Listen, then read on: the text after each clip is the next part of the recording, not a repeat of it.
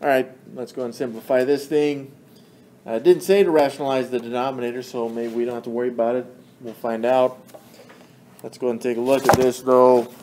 First, let's go and apply the, I guess, like that division of the radicals backwards.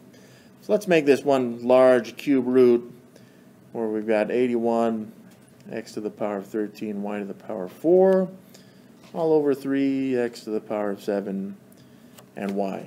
And yes, I did separate those specifically on purpose in columns uh, so that we can divide these. So 81 divided by 3, I get 27. And this would be x to the power of 13 divided by x to the power of 7. So 13 minus 7 is uh, 6. And then y to the power of 4 minus y to the power of 1. I'm sorry, divided. So I'm going to subtract the exponents. 4 minus 1 is 3. Now this is all cube rooted, which means I can separate these. The cube root of 27 times the cube root of x to the power of 6 times the cube root of y cubed. All right, well, starting with the cube root of 27, this is the cube root of 3 times 3 times 3, which gives us a triple threes, which is going to factor out a 3.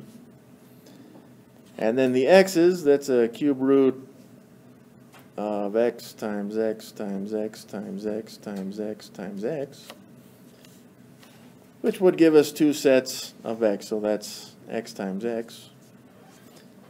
And then finally, the y's, that's going to be the cube root of y times y times y, which is a triple y's, and that would pull out one y.